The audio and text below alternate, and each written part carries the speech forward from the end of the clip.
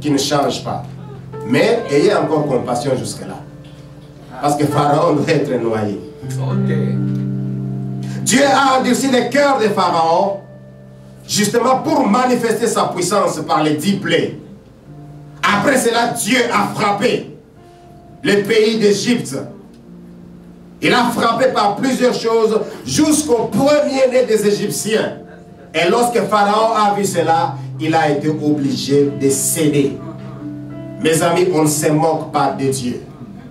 On ne sert pas un Dieu qui dort. On ne sert pas un Dieu qui voyage comme balle. On ne sert pas un Dieu qui est distrait. On sert celui qui est vivant, qui contrôle l'humanité. Le ciel et la terre sont à lui. C'est lui qui dit un mot et la chose s'accomplit. C'est celui-là le grand Dieu que nous servons. C'est lui dont sa parole est oui et amen. J'aime bien mon Dieu. Quand il dit oui, c'est très bon pour nous. Quand il dit non, c'est aussi bon pour nous. Quand il dit pas maintenant, c'est toujours très bien pour nous. Parce que Dieu ne nous donne pas des choses à des moments qui vont nous détruire nous-mêmes.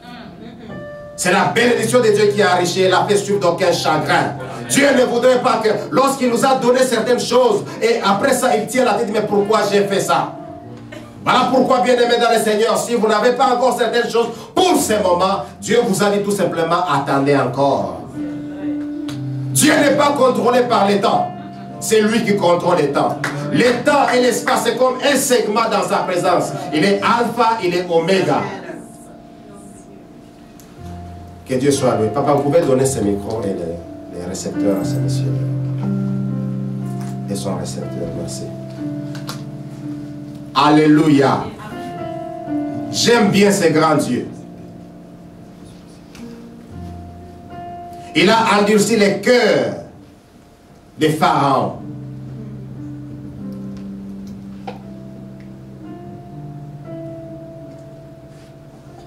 Dieu a établi la Pâque comme une fête éternelle, comme un rendez-vous sacré, un rendez-vous perpétuel, selon ce que nous avons trouvé dans Exode 12, à partir du 11e, à partir du 1er verset jusqu'au 14e.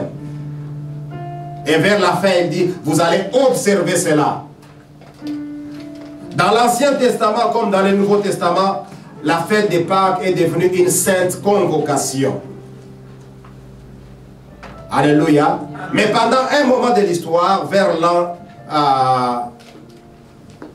325 après Jésus, il y a eu un certain empereur nommé Constantin, c'est un empereur romain. Celui-là va arrêter, il va stopper toutes les activités chrétiennes, spécialement les activités liées à la fête des Pâques. Constantin, l'empereur de Rome, vient, il dit, je ne veux plus voir ces choses. Et pendant ce temps-là, c'est l'Empire romain qui dominait. Constantin vient, il, il, refuse, il dit, je ne veux pas voir ces choses. Pendant ces moments durs où Constantin venait de refuser, vous savez, vous n'avez jamais vu certaines personnes lorsque vous les empêchez de faire quelque chose, c'est alors, si cela vient de Dieu, c'est alors qu'ils prospèrent. Ne va pas à l'église. Mais alléluia. Toi, tu crois que non, non. Euh, tu as dit, tu as l'autorité. Mais quand il s'en va, il reçoit quelque chose. Il dit non, je ne lâche pas. J'irai, j'irai, parce que j'ai trouvé. Et Constantin, en son temps, a refusé. Il a interdit, il a stoppé. Sur tout ce qui était lié à la Pâque. Il dit non, non, non, avec, euh, avec la célébration de la Pâque, je ne veux pas voir cela.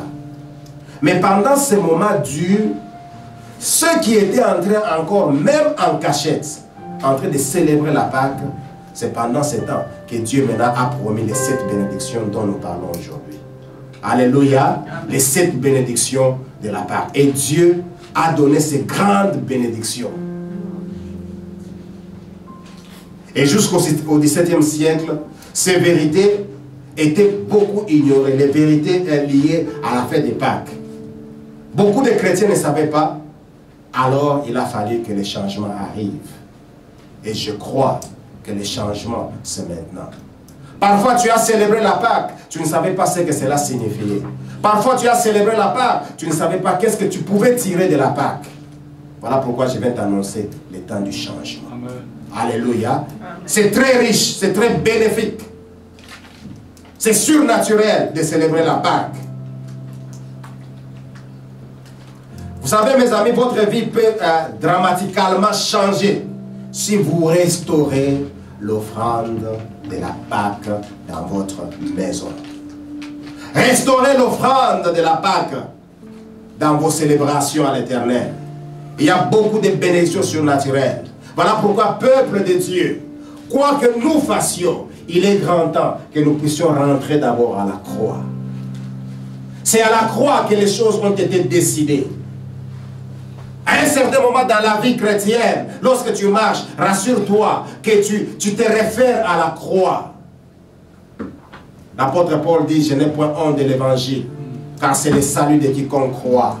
Alléluia. Rentrons à la croix. Bien-aimés, restaurons la célébration de la Pâque.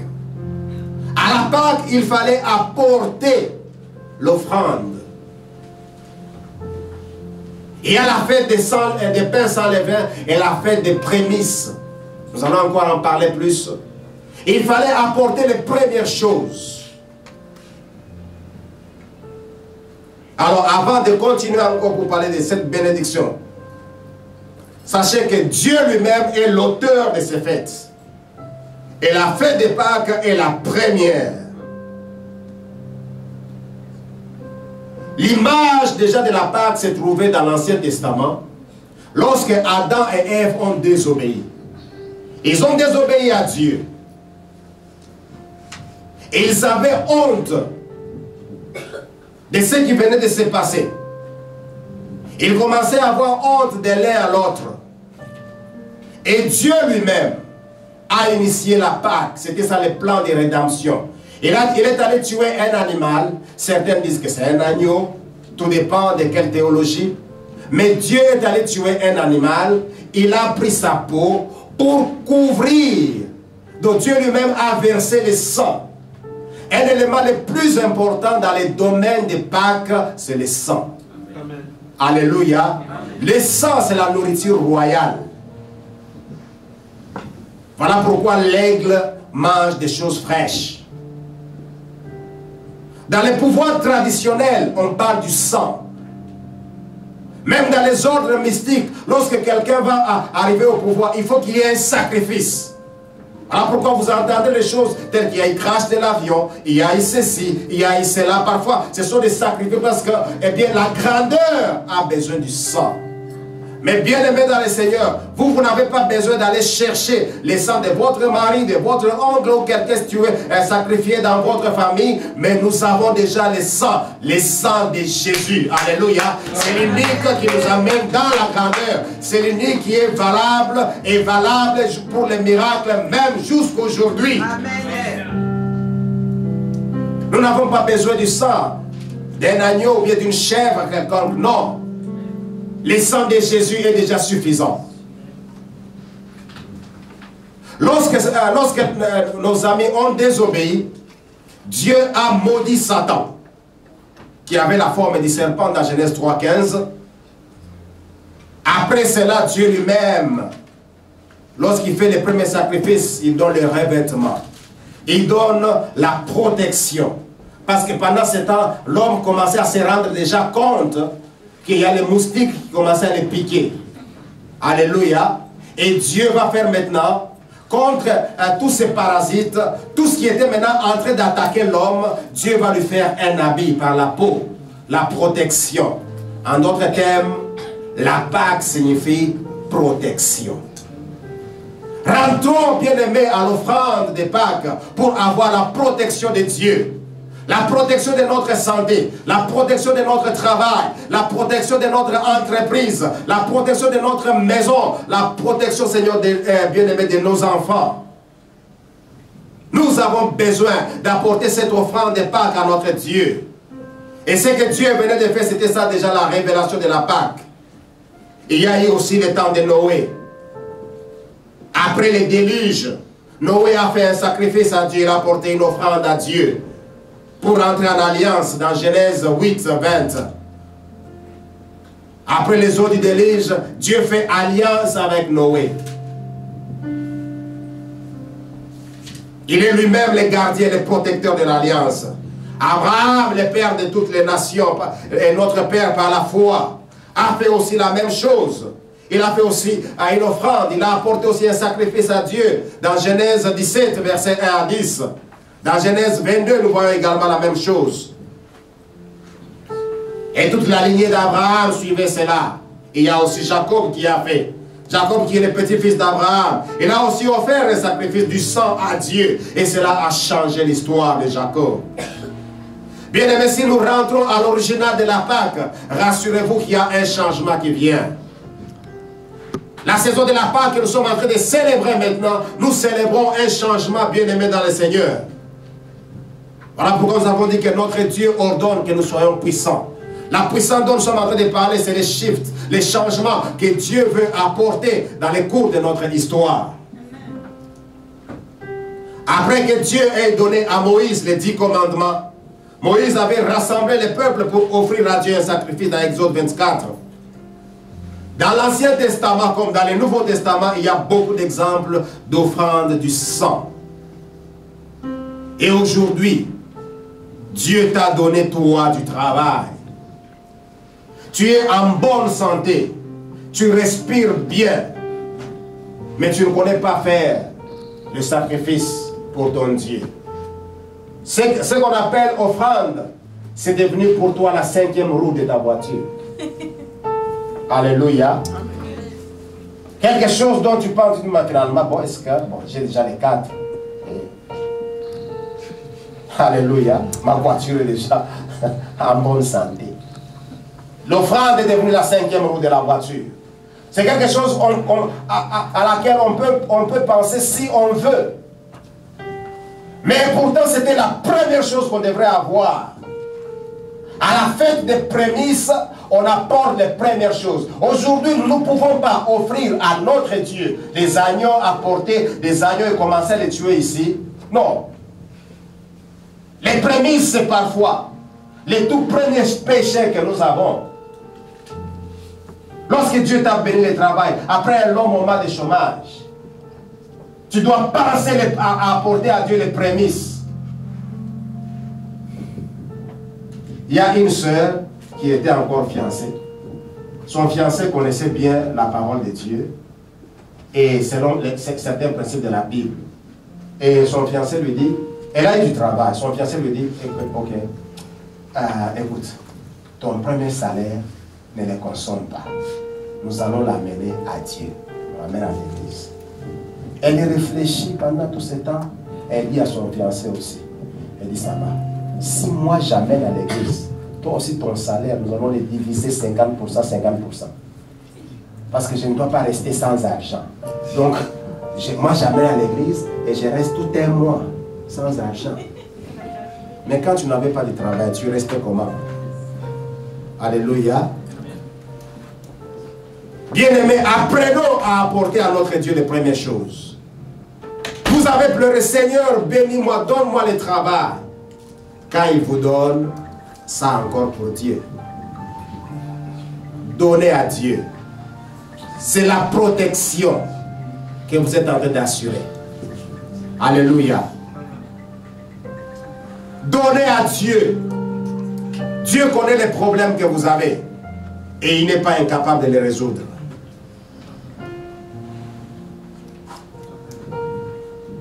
Les premières choses appartiennent à Dieu. Toi maintenant, tes premières choses, tu avais donné à qui La Bible dit on ne se moque pas de Dieu. Ce que l'homme aura semé, il moissonnera. Alléluia. Rentrons, bien-aimés, et apportons l'offrande de sacrifice à notre Dieu. Dieu tient à l'alliance et aux paroles de l'alliance, aux termes des alliances. Il se souvient toujours de son alliance. Il s'est souvenu des enfants d'Israël, il va aussi se souvenir de toi. Il engage tous les moyens pour que ses promesses puissent réussir. Alléluia. Et ce matin, ma prière est que Dieu se souvienne de toi. Que Dieu mettre tous les moyens en jeu possibles pour que toi, tu sois heureux. Et c'est là dans le nom de Jésus.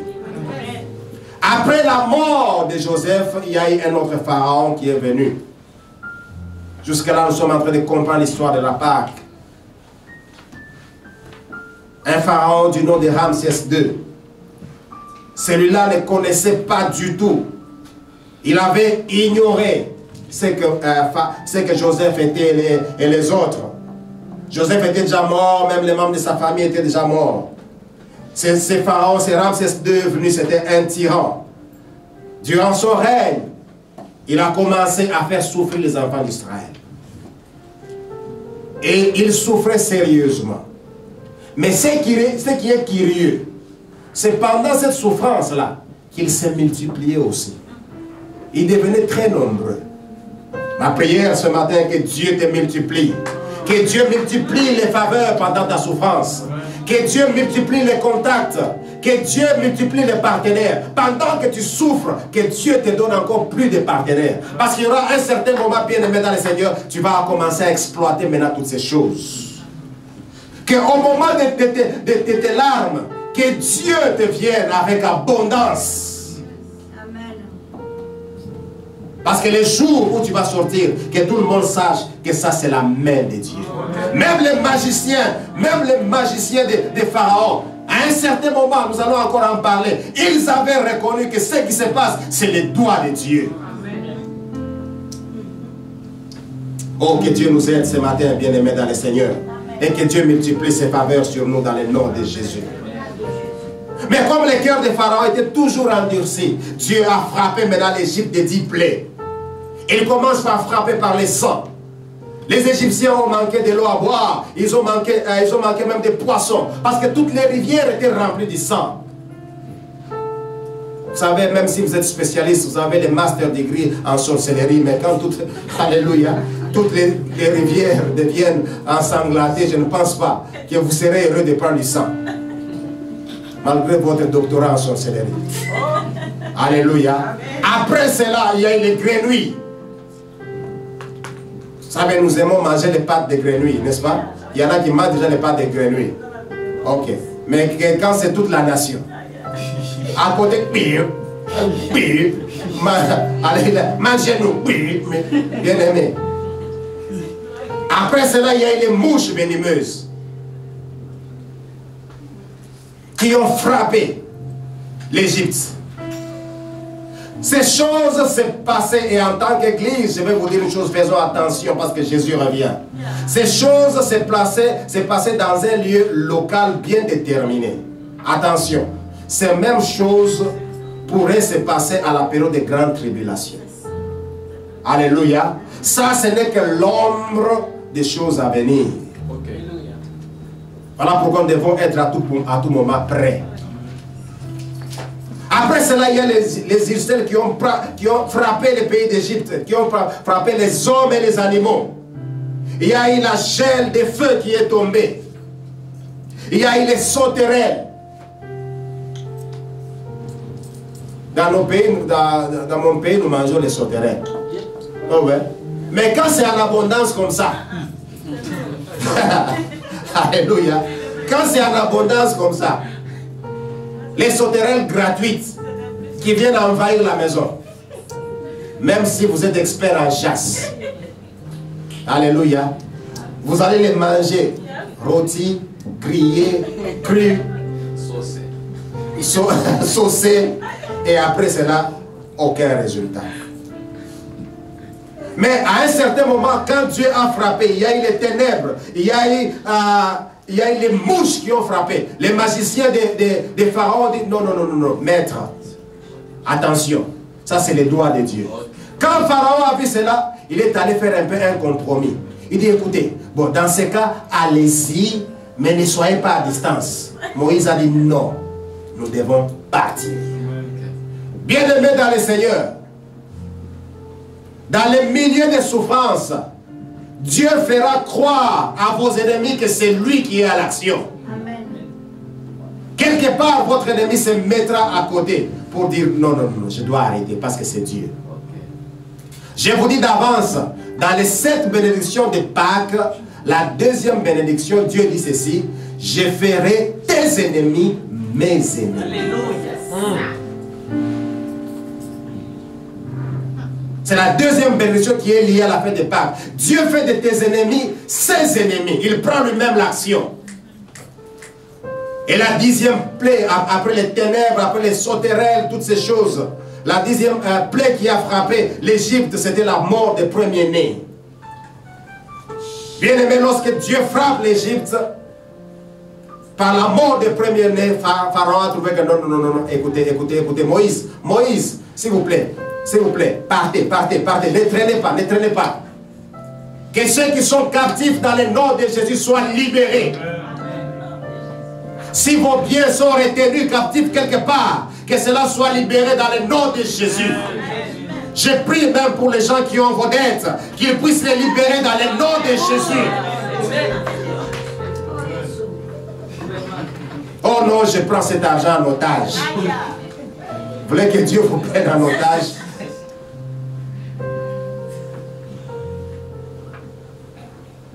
Dans Exode 12, 1 à 14, Dieu a ordonné aux enfants d'Israël la Pâque. Voici ce qu'il a dit. Premièrement, vous allez verser le sang. Deuxièmement, vous allez manger l'agneau. Troisièmement, vous allez placer le sang sur les linteaux. Alléluia. Alléluia. Vous allez placer la marque du sang sur les linteaux. Et pendant la même nuit, quand il faisait cela, Dieu vient, il, il frappe les premiers-nés d'Égypte.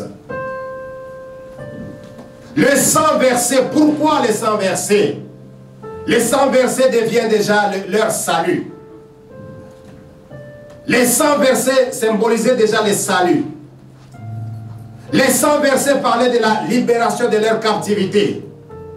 Et en mangeant l'agneau, ils recevaient la guérison. Lorsqu'ils ont mangé l'agneau, c'était la force qu'ils étaient en train d'accumuler pour faire la route qu'ils devraient faire. Dieu leur a donné déjà la force en mangeant l'agneau. Voilà pourquoi le corps de Jésus est là pour notre restauration. Il vient restaurer notre santé. Et je prie que toutes les maladies liées au sang soient guéries ce matin dans le nom de Jésus. À cause du sang de l'agneau. Et à cause du corps de Christ que nous allons prendre maintenant.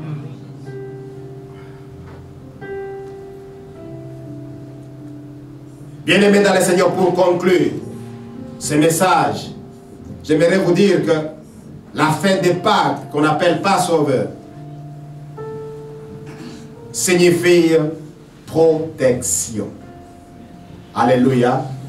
Je prie que Dieu te protège. Que Dieu te protège lorsque tu es dans ta voiture.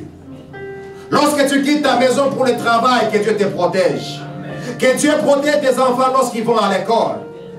N'avez-vous jamais entendu, et nous entendons cela tous les jours, que les enfants sont partis à l'école, un petit mal intentionné vient tirer sur les enfants? Mais je prie que cela n'arrive pas à, aucun de nos enfants dans le nom de Jésus.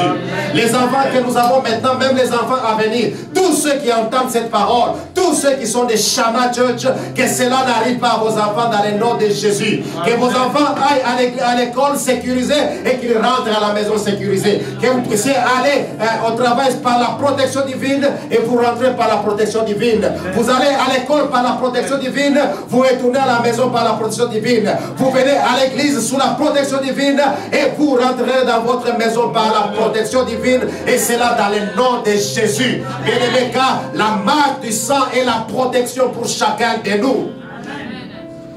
Dieu a ordonné cela.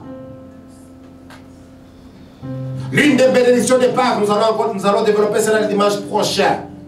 Dieu affecte, c'est ça la première bénédiction, Dieu affecte un ange pour vous. Le même ange qui est allé libérer Pierre de la prison. Les choses se faisaient comme un rêve. Que cela t'arrive aussi dans la vie. Que quelque chose, qu'un miracle se produise comme un rêve. Comme un rêve qu'on entende que Dieu t'a promu. Comme un rêve qu'on entende que tu as terminé tes études. Comme un rêve qu'on entende que tu es marié. Comme un rêve qu'on entende que tu as des enfants. Comme un rêve qu'on entende que tu, ne marches pas dans la médiocrité. Tu es maintenant dans l'excellence. Et c'est là dans le nom de Jésus. Que ceux qui te voient à un moment donné n'arrivent pas à comprendre. Qui disent mais nous sommes en train de rêver ou pas. Non, c'est la vérité. Parce que c'est Dieu qui est à l'œuvre. Frères et sœurs, retournons la Pâque dans notre maison. Nous avons besoin de revenir à la Pâque. Célébrons la Pâque. Nous allons célébrer notre protection. Que le Seigneur vous bénisse. Nous allons nous lever. Nous allons prier. Merci Seigneur. Merci Seigneur. Merci pour la protection. Un cantique d'adoration qui va nous conduire à la Sainte Seine. Alléluia. Merci Seigneur. Merci, merci.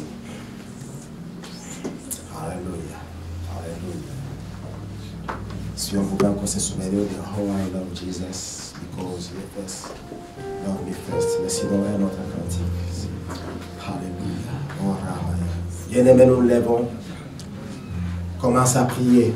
Commence à prier avant que tu t'approches de la table du Seigneur. Il y, a, il y a des bénédictions surnaturelles sur ta vie. Dieu veut te bénir. Dieu veut te bénir de manière surnaturelle. De manière surnaturelle, Dieu veut te bénir. Dieu veut te bénir. Dieu veut te bénir. Alléluia. Alléluia. Alléluia. Que les cœurs de Pharaon soient endurcis ou pas, il sera noyé. Au nom de Jésus. Au nom de Jésus. Lorsque le sang a été versé, Dieu a dit, je ferai de tes ennemis mes ennemis. Lorsque les tout derniers des enfants d'Israël avaient traversé la mer Rouge, alors Dieu a mis fin à l'armée de Pharaon qui était déjà dans le chemin. Les ennemis soient dans la confusion dans le nom de Jésus. Lèvons nos mains, lèvons nos mains, lèvons nos mains.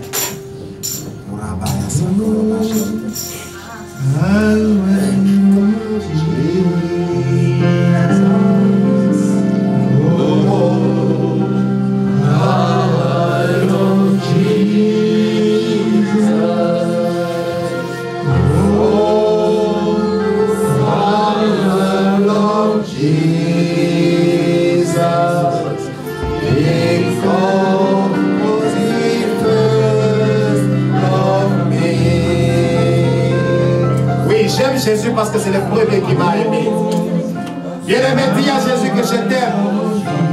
Je t'aime parce que tu es le premier qui m'a aimé.